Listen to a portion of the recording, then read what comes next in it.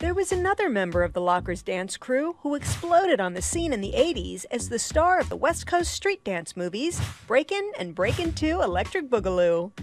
Adolfo Shabba-Doo Quinones. Venice Beach uh, holds a very special place for me. Uh, you know, we filmed the Breakin' films here, and uh, the world, and introduced the world to the West Coast street dance hip hop movement. You know, uh, just over here is where we filmed the uh, the, the big scene Battle where yeah the battle scene, scene where, where uh, electro rock challenges ozone and turbo. This is where jean-claude van damme did his first movie and he was yeah he's a dancer in the background. Of Breakin'? a breaking yeah. No. yeah in, in that scene he's dancing all kinds of all kind of odd but yeah there he was. Moving into 1987, Shabba-Doo also taught the Material Girl a few moves.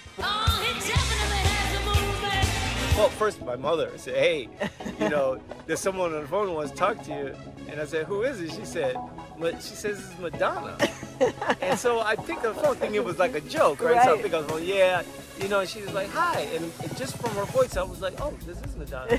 Madonna, who was looking for a choreographer for her Who's That Girl tour, wanted to get a close up look at Shabba-Doo's famous Shui style of dance. uh, and, and and did this dance called uh, whacking. Right. uh, or punking as the gay community referred to it as, punking and posing. And that the version that I showed her was the one that I had mixed locking with.